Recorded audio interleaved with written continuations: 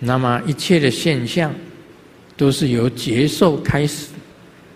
例如菩萨十地，第一地是欢喜地，因为你到了菩萨初地的时候啊，你所得到的东西在里面，他都写得很清楚。第一地，你心生最大的欢喜，那个时候。